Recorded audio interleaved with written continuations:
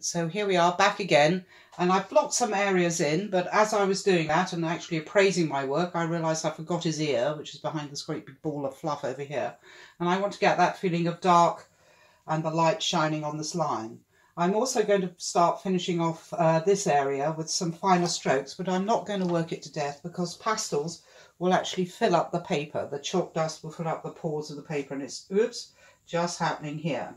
And I've also just found my rubber, so I can show you that you can rub off pastels quite easily, but it does smudge. So it's hard to do it in an area where you've got a lot of pastels, but for here, for instance, I can actually rub off some area of pastel and actually create shapes, but uh, try and avoid the smudging. And that could go. So there you go. So we can actually rub it out, so that's good. And so I'm picking up my gingery colours again. Remember if I thought this was too gingery. A little bit, it's a bit on the pink side. And I want to find my areas of colour. So again, I'm trying to keep uh, going with the direction of the hair. I think that's the main thing about animals. And, sorry, I'm just praising my work. Right, so I'm just adding some of this slightly darker brown to be his mane and trying to follow what that mane's doing. And I'm just getting a little bit aware that the paper is filling up. I'm going to add some nice hairy bits here and layer on that colour. And I have been reduced to using black actually because I did want to get some of these darker areas. And you can see that's very intense.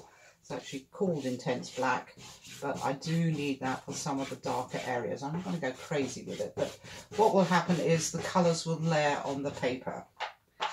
So here we have, I've got a, oh no, that's the same brown. I was going to say it's a different brown. I don't think so. Get the difference between his darker mane and his lighter mane. Is that a different brown? Different brown. It's a bit grayer, in fact, so that would work quite well down here. And again, I don't want to work it to death. So we've got some shadow here, and I might bring out my blue a little bit, just to add some of this dark blue purple, just to make it a little bit more interesting and indicate light and shade. And so now I'm going to work on the eyes, and you can see with cats, big cats, small cats, all sizes of cats, they have this nice almost marking around their eye. So I've got this uh, pale yellow ochre and I'm just going in here and following what the fur does. And it changes direction on the nose and as I say by looking you can really understand what's going on in this lighter area here. I just have a little bit of white in there. Very intense white but it does give that feeling of shape.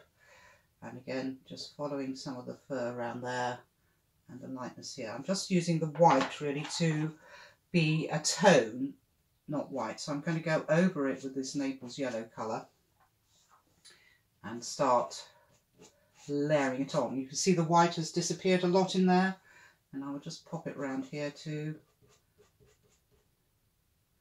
And we want his furry muzzle and then finish off this eye again. This has got this nice white thing here, but he's got his nice eyebrows.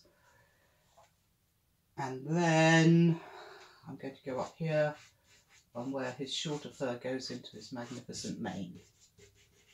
Now I think I do need a little bit of white there.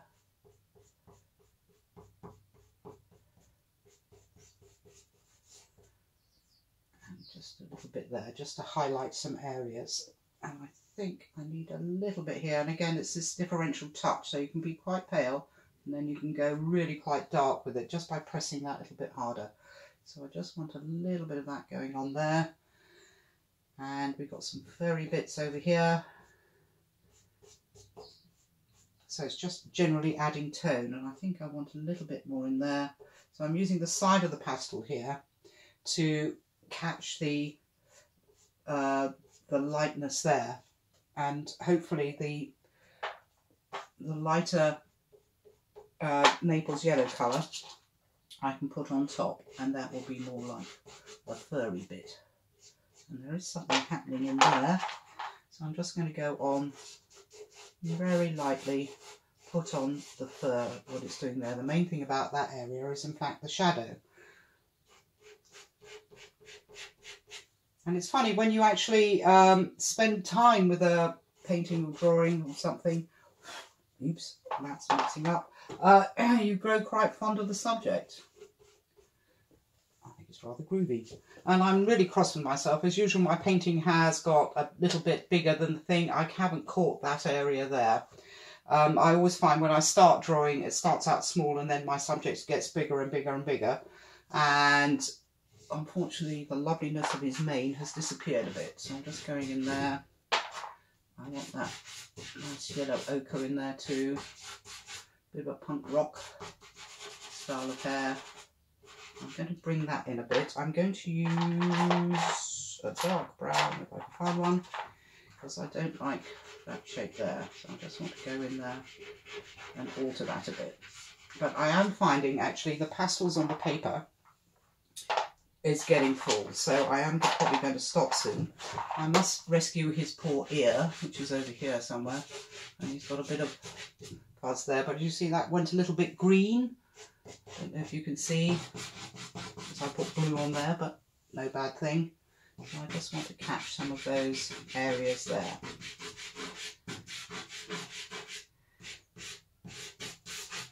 So yes, this paper is now getting full and I don't know if I'd want to do too much more to that. Little ear tufts in the right colour. That's going yellow. So the main takeaway from drawing and painting animals, I think, is to think about uh, curves into straight lines because you're doing a portrait of a living thing and each animal looks different. Like uh, seagulls are different from ducks, are different from robins. So you really have to understand how uh, the animal works. So a little bit of anatomy. George Stubbs spent six months dissecting a horse just to understand what was going on. All his neighbours complained apparently, which I can see why. Um, because it got a bit stinky, but he had it, um, he did it like Leonardo, I mean, proper dissection to understand what all those muscles were doing. So it's quite useful if you are going to draw or paint something to look at how the animal is constructed underneath.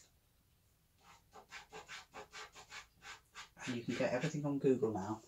I think I'm going to finish that. The one thing I am going to do, which is a bit different, is I'm going to add a little bit of lightness to this area here. And I don't want to do it white I want to actually define the darkness of his mane over here with a lighter colour. I'm still going to keep it as a vignette and it's very hairy hair he's got. So it goes out here, doesn't it?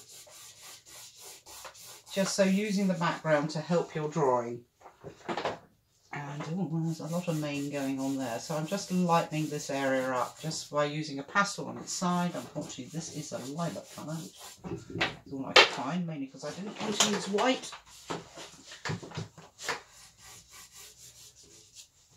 But that will actually use the paper to define him.